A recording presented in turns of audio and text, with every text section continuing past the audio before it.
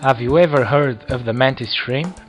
It's the animal with the fastest strike in the world, in proportion, more aggressive than a white shark and has the most complex eyes of all time.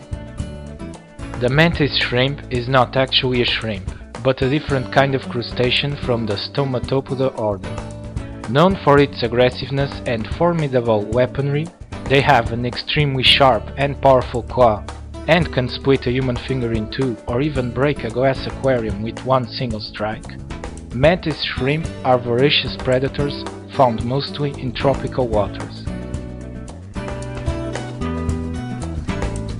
Their eyes are compound, although they have a far smaller number of ommatidia, about 10,000 per eye. However, each of its ommatidia rows has a particular function. For example, some of them are used to detect light, others to detect color, and so on. This creature has much better color vision than humans, their eyes having 12 types of color receptors whereas humans have only 3, as well as ultraviolet, infrared and polarized light vision.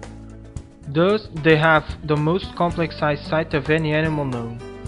The eyes are located at the end of stalks and can be moved independently from each other, rotating up to 70 degrees. Interestingly, the visual information is processed by the eyes themselves, not the brain. Even more bizarre, each of the mantis shrimp's eyes is divided in three sections, allowing the creature to see objects with three different parts of the same eye.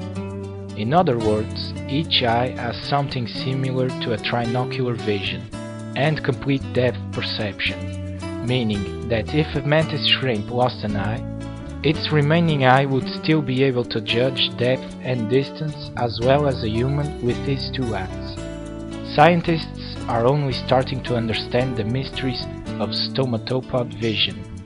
For the moment, we can only imagine what the world really looks like to this crustacean.